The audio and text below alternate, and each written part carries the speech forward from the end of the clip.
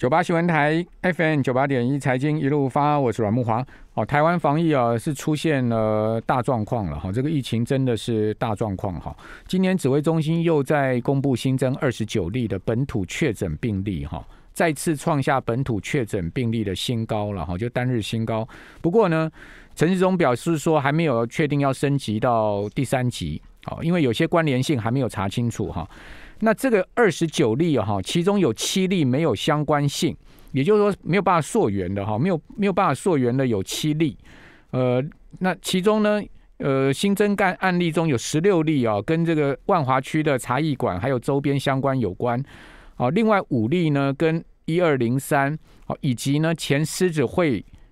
还有相关的个案有关，好一例呢跟宜兰的游艺场有关，所以现在目前主要有三个啊，这个呃确诊源头，一个就是狮子会嘛，好，另外一个就是宜兰游艺场，哦，还有就是万华的这个阿公店呐，哦，这三个是现在目前很麻烦的确诊源头了。好，那今天另外疫情也扩散到这个高雄哈，因为高雄也传出来有确诊案例哈，包括呃昨天傍晚就已经传出来，就是说那个晋鹏啊。哦，这个桃园的 PCB 大厂进鹏也是上市公司哦，也传出有员工有确诊。哦，此外呢，和平医院也多了两个确诊的案例。哦，所以柯文哲说呢，万华区恐怕还有染疫者哦，要增设快筛站。哦，那和平医院收治了两个新冠肺炎的确诊者。哦，那昨天晚上呢就紧急关闭急诊哦，那病患只准出不准住，呃，不准入。哦，但不封院了哈。那陈时中今天跟柯文哲啊，就商讨防疫对策啊。那对和平医院的风险清零预备准这个预做准备。哦，现在目前这个和平医院是大家关注的重点了哈。哦，在此情况之下呢，刚刚柯文哲宣布了哈，台北市的网咖八大行业啊，呃，从今天凌晨起啊，这个就暂停营业了。啊，也就是说，哪八大行业呢？电子游戏业、网咖，还有呢 KTV，哦，这些全部都算叫做八大行业啊，全部就是从今天零时起啊就要停业了。哦，所以这继新北市之后啊，哦，再一个就是重大的宣布啊，因为新北市已经啊八大行业是宣布停业了哈，就不准开开，暂时不准开了哈。那至于刚刚讲说明天要公布的确诊者的接触者。哦，外传是总统府的这个员工啊。哦，今天指挥中心也说啊，哦，这个是这个外传总统府有框列的这个确诊的人呐，是明天要公布确诊者的接触者。哦，大家听清楚，是确诊者的接触，也就是说明天要公布的确诊者，不是今天要公布啊，明天要公布啊。指这个指挥中心有排序哦，今天公布几个，明天公布几个，明天要公布哪一些？当然，我相信指挥中心有他这样子。呃，可能的理由啦，哦，就是说啊，可能这个呃，意调还没做好啦，足迹还没确认啊，或者怎么样呢？有一些事情没有确定，所以我们放到明天公布。我我也能接受了，哦，但是如果他是刻意说要去安排今天几个，明天几个，那大家都不能接受了，对不对？哦，但至少让我们知道什么？让我们知道说，其实其实整个指挥中心。他们对于到底有多少确诊者，然后呢要怎么排序，那是他们最清楚的事情。那国人呢都是得听他们的就对了。现在目前就是这样的一个状况了哈。好，那现在目前也确认哦，因为现在各种马路消息越来越多嘛，记者都会跑去指挥中心问这些发言人嘛，说到底是不是这个样子，是不是那样子？土城的什么呃怎么样了？然后那个板桥的学校又怎么样了？哦，因为你一关起来消毒，学生停课，就知道一定有问题了嘛。哦，都会跑去问，哦，就今天一问，哦，那庄仁祥就讲了，说啊，明天要公布确诊者的接触者是那个总统府那个的这个这个员工，哦，那总统府事关重大嘛，对不对？蔡总统在里面嘛，哦，所以当然大家会特别关心这个事情啊，好，所以说整个呃疫情的状况哦，可以讲说是非常多。哦，另外还有停电的状况。好，停电呢，今天经济部也正式道歉了，说是人为疏失，而且呢，台电要赔五亿啊，将近快赔五亿啊。哦，就因为一个工程人员误关了开关，那这你只能说无言嘛，你还能说什么？好，所以说这些状况呢一再发生，哦，就跟就跟你讲，就是这个是就跳针了嘛，整个都跳针了嘛。好，那么赶快来请教筹码专家、财经作家阿司匹林。好，阿哥你好。哇，好，各位投资朋友们，大家好。阿哥怎么看现在目前的这个股市可能的这个状况呢？从筹码面怎么看呢？对我们说整个呃情绪哈，这个几乎是从天堂直接掉到地狱了哈。两个礼拜前，这个十几天前，好，甚至上个礼拜而已，好，对不对？好，上个礼拜跌了一千点以后，哦，看起来很很可怕，但是随即又弹了三四百点，哦，大家就认为说，啊，最后的买点又到了，哦，那个上礼拜跟大家讲这个行情哦要跌，应该没人相信，但是现在你跟大家讲，我说这个行情要涨，一样没人相信了，好，所以整个情绪会这样扭转啊，其实市场最关心的都是。这个疫情的变化，好，那外资事实上在高档已经有很明显的一个空单的布局哦，那外资的这个空单的啊成本呢，啊目前啊大概已经获利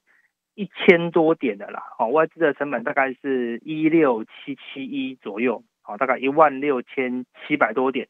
好，现在已经一万五千多了嘛，所以外资的空单已经获利超过千点哦，所以它今年的绩效。又再度翻正了，外资在在这一波下跌之前啊，一直被笑，为什么？因为空单一直空，指数一直涨啊，一直空，指数一直涨这样子，哈，但是呢，好，他就是知道说他的空单后面会有一个利空出发，啊，当然这个疫情绝对外资也不知道，啊，但是你可以看到外资在过去五个交易日哦，哦是疯狂的大卖了，哦，他第一天他就大卖，疫情第一天他就大卖了四百二十亿，哦，动作可以说是。哦，非常的果断呐，哦，那这样这几天也是每一天哦，都是一两百亿的在卖，好像五天加起来，加上今天啊，外资继续卖超一百三十六亿哦，在昨天美股大涨的情况下，哈，外资仍然是卖超，哈，表示外资有把这个疫情好考虑进去，哈，继续卖超，五天来卖超已经快要将近一千亿了，哦，但是在卖超一千亿的哦这个情况下，而且不止现货卖超哦，那个昨天。外资的借券卖出啊，就是外资的股票的空单呢，也增加了十万张。从四月中哈一个相对低点，对吧？七百八十万张借券卖出余额，到昨天已经增加到了九百五十七万张哦，这大概不到一个月，已经增加了一百八十万张了。好，那外资现货也是卖超，OK，借券也是增加，好，就是很明显的空单。好，那。阿哥，呃，等一下继续帮我们做台股分析啊！现在我们有一紧急的一个新闻哈，苹果日报宣布要停刊了。啊，苹果日报呢，今天刚刚哈最新的消息出来了哈，就在大概十几二十分钟之前哦，它公告了哈，呃，苹果日报从这个月十八号起停刊。好，那呃，十八年前的五月二号哈是苹果日报的创刊日。好，那现在目前正式宣布停刊哈，就是五月十七号会出刊最后一次报纸，好，然后十八号起正式这个停刊。好，苹果日报了，据我知道了哈，它一个月啊大概要亏五六千万了。好，因为我有问过苹果日报里面的相关呃相关算高层人员吧哈，就因为先前不是传出苹果日报要卖的事情嘛哈，那我也特别去了解这个事情。哦，据说有这个两两家。哦，两两个集团出出钱，呃，要买这个苹果嘛？他们也跟香港的这个呃一传媒，因为台湾苹果日报是香港一传媒的子公司啊，哦，那就签了一个意向书，是不具这个约束权利的意向书。那黎智英，据我知道，他要卖苹果日报，大概他出价是十二亿，十二亿到十亿，十亿到十二亿，就是卖个两位数比较好看。结果对方出个个位数亿，你你怎么卖嘛？如果真的用这个价钱卖，那不是那不是太难看了吗？哦，然后呢，还要求说我要买之前你要先裁员，因为苹果日报现在大概还有七百五十个员工，它的鼎盛时期啊，这个苹果日报都有三千多个人呢。呃，也就是说，现在目前已经裁到剩下四分之一了。哦，去年年终的时候还裁了过一百四十个人，那是呃此前最最后一波裁员呢，裁了一百四十个人呢。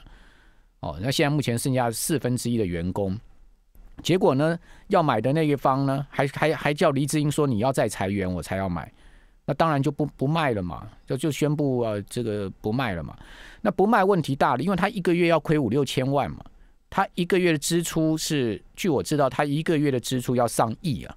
哦上亿的支出啊，但是他的营收大概只有五六千万了，所以他一个月要亏五六千万，一年要亏个五六亿啊，那一年亏五六亿。也就算了，香港一周刊、一传媒，呃，过去十年已经累积负债超过百亿台币了嘛，一传媒本身也也亏损嘛。哦，就是香香港苹果日报也亏损嘛。虽然说黎智英在香港搞那个订阅制哈，这个呃有大概现在目前还有六十几万的这个香港人订苹果日报了。哦，但是订订阅制抵不住那个纸媒的广告啊，数位媒体广告的下滑嘛。那个广告下滑的那个金额太惊人了嘛。哦，那纸媒的销售也不好嘛。所以说，一传媒整个是亏损了。哦，亏损累累啊。哦。所以在这样状况下宣布停刊也是可以预料的，只是我个人没预料来的这么快。哦，刚刚在三个三十分钟前，苹果日报正式宣布了。哦，从呃十七号之后，哦十七号之后就没有苹果日报的纸纸本了。好，这个是一个最新消息啊，跟听众朋友来报告。好，那我们这边先休息一下，等一下我们留比较完整的这个时间哈，给阿哥再就现在目前台股最新的状况做完整的分析。九八新闻台，FM 九八点一，财经一路发，我是阮木华。好，看到苹果日报要停刊的消息啊，很震撼哈，但是也是预料之中哈。那苹果已经发给他们所有七百多个同事的这个相关通知了。那这个通知是这样说的啊，他说呢，我们没有办法更早通知各位同事，哈，这个高层呃通知的一个公文了哈。他说呢，这是公司感到抱歉的地方，哦，公司会在本月，也就是。这个月啊，五月十六号之前呢，通知相关被资遣的同事啊，依照劳基法办理应得的资遣费哦，而且呢，会给会给薪啊，从十七号到五月底的薪资还是会给哈，六月一号起再加计啊，这个依照年资应得的预告工资的薪资啊。那至于说总编辑啊，苹果日报总编辑也发了一个陈玉兴呢，也发了一封信给他们的。同事啊，他是说呢，呃，一向问责于社会哈，同样的，今天我们也问责于问责于自己哈。他说我们很努力，但是也不够努力，也不够了哈。呃，愧对同事，作为管理者，好，他说我更愧对同事，我已经向行政总裁表示呢，即日起即日起辞去董事、台湾苹果日报社长跟纸媒总编辑的职务，而且把自己也列入了资遣名单哦，跟纸媒同事共进退。哦，因为事出急迫啊，所以呢没有办法更早的通知各位同事，等等等等等，就我刚刚所讲的。好，所以苹果日报确定哈，在十七号出了最后一份报纸之后呢，就要结束。现在目前苹果每天都还有十万份的销售量了哈。哦，那这当然已经跟它这个最高当时高峰比起来，六六七十万份比起来，真的是差的已经是天南地北了哈。好，这个纸媒真的是很难在台湾经营了哈。呃，据我知道，其实。苹果对员工的福利，早年那个这早先的时候，就是财务状况不错的时候，其实是不错的啊。下午点，还有下午茶，然后还请了这个大厨来这个呃报社内呃办员工的这个伙食。下午茶还可以吃哈根达斯的冰淇淋跟冰棒。哦，这个确实对员工的福利各方面不错，而且当时也是用很高的薪水，十几二十万这样子给这些呃挖人嘛。那今天走到这这条路上啊，那这个你怎么说呢？好，那这个事情我们先讲到这边了。我们继续来请教筹码专家、财经作家阿司匹林啊，台再继续来谈台股。他说：“阿哥，那你觉得台股下周会怎么怎么演变呢？关注的焦点在哪里呢？”好，我们说关注焦点关键还是在于哈那个疫情的变化了哈，疫情只要尽快的可以控制住哈，台股台股这个地方就有机会哦打出一个底部哦那。投资者知道有一个关键的时间点哈，大概就是每一天的呃凌晨呃早上开盘到十点多，今天早盘什么时候开始急杀的？哦，从涨到快四百点，哦，看一路杀到哦快平盘，大概就从十点左右开始杀。为什么？因为台湾的现在已经是大家都是狗仔了啦，哈，十点整所有的这个 line 就在开始传，今天可能是吉利吉利这样子，好啊，只要那个数字好被。出乎大家的预料，哈，那卖压哦就会非常重，好，那大概未来的哦一两个礼拜可能会维持这个状况，好，只要新增的病例案例多一些，好，台股就有卖压，那如果少一些，好就会涨，好，那如果案例可以低于十例，好，就比较两位数，啊八例新增六例，啊，这个台股就会有买盘的啦，好，那什么时候大家可以看到嘉玲出现，哦，不是梁不是梁朝伟的老婆刘嘉玲哈，就是嘉玲。一天都没有任何的啊确诊者啊，台股的多头就会非常强了啊。那最近应该都是一个洗融资的一个过程我们刚才讲的外资讲虽然偏空啊，但是另外呢，由于融资维持率啊，到昨天啊已经只剩下一百四十六啊，今天看到所有股票都在杀啊，应该会降到一百四十三左右了。好，那这样。带有一半以上的啊，这个融资呢，哈，都会濒临断头啊。但是最近的一个状况有个特殊现象啊，你就问营业就大概知道，有一半的融资是怎样自断手脚啦，啊，因为这个疫情啊，让大家的这个恐慌加深，所以大家会自行先把融资去减满。好，那个融资昨天呢是减码了八十三亿啊，那柜台也减码了十九亿，哦，累积三天来啊，大盘的融资减了三百三十八亿，柜台减了九十亿。加起来已经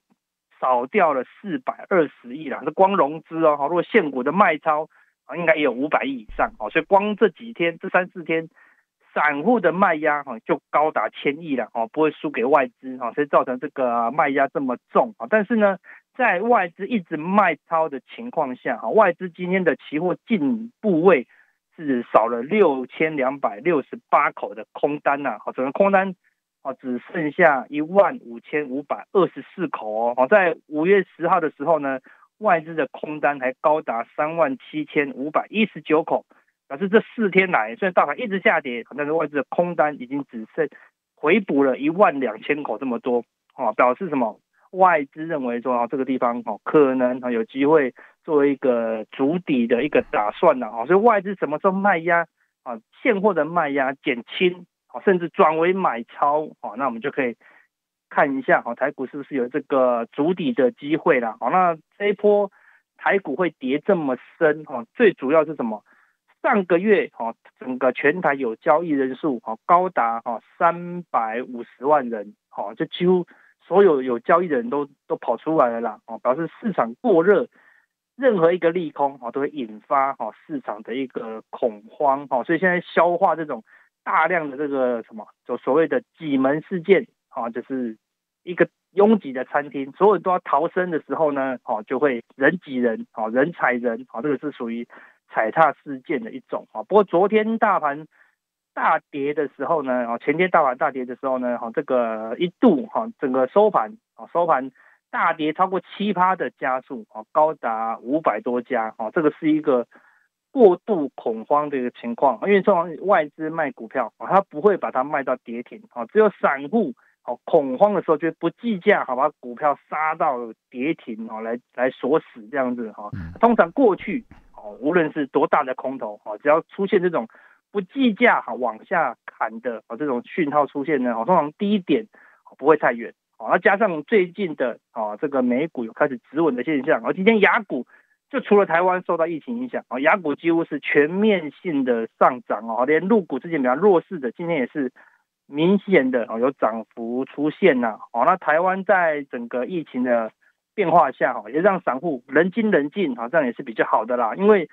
这个权证的交易金额在四月底的时候，曾经来到六十六亿这么多哦，全证一涨才一两千块，它可以来到六十六亿。五月十号前几天也还有四十三亿。但是在今天呢，全证交易金额只剩下二十亿了哦，所以是散户大概暂时都不敢玩了，因为断头的断头哈，违约交割的违约交割哦，所以整个行情的变化呢，哦，有慢慢哦筑底的一个趋势。好，现在目前关键啊有几个，另外一个就是今天的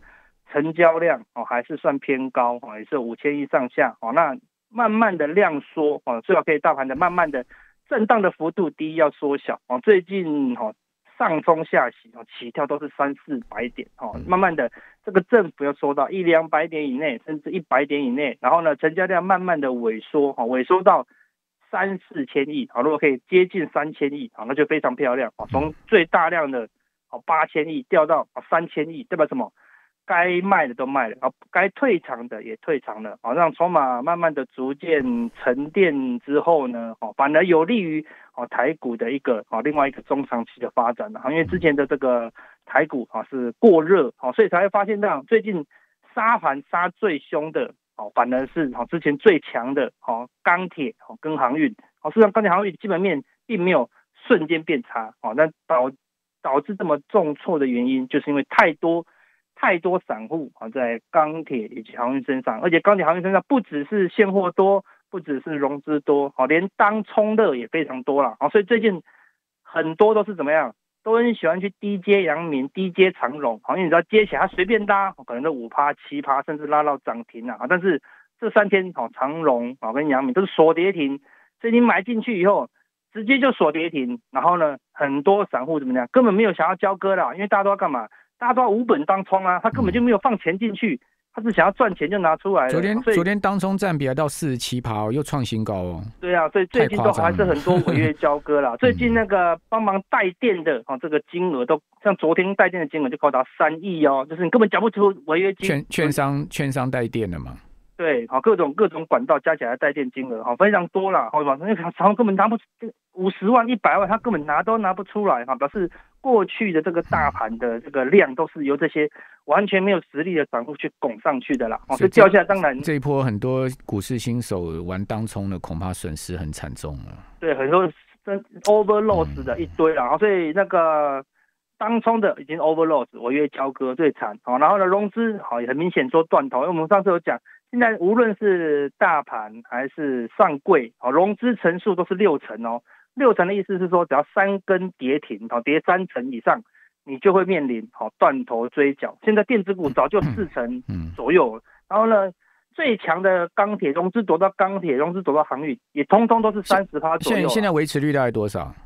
那整个大盘的只剩下一百四十四哦，以今天来讲的话，那也那也很很接近了哦。对啊，一百三十就一百三十就是底线了，对啊。通常是大空头才会来啦。我们说一个小小空头打到一百四已经是非常我算过嘛，如果从一七七零九算算零点七八的话，大概在年线的位置了。对啊，一万三左右就是融资维持率。如果以以加权指的这个空间来算的话，大概年限的位置就一百三融资维持率全面就要发出的。没错，所以如果疫情没有失控的话，哈，就会引发一个全面性的断头哦，那台股就会全面性断头很很惨哦，那就深不见底了哈。那所以有融资的朋友们一定要尽量的怎么样降杠杆的，好，所以台股目前就是走一个去杠杆的过程啊。如果甚至像期货选择权哦，倒装。大 over loss 的哦，也是大有人在哦。昨天报纸写的那天礼拜三期货上选择权期货上不是百亿吗？对，很多的卖方都是直接阵亡的啦。对啊，很惊人的数字啊。对啊，啊，因为昨天的甚至有人跟选择权都是百倍，跟期货商在已经在协商债务的了。对，非常多啊，非常多啊，所以这个整个大盘就受到伤害了。好，非常谢谢阿哥。